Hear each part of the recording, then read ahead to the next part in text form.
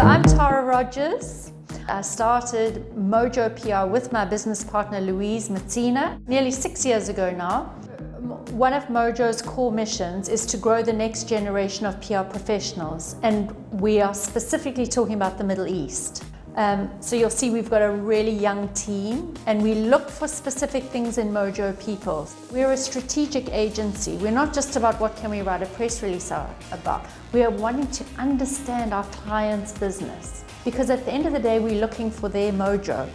We're looking for that element that is going to make their customers fall in love with their brand. So one of our things we look for is curiosity. Are you naturally curious?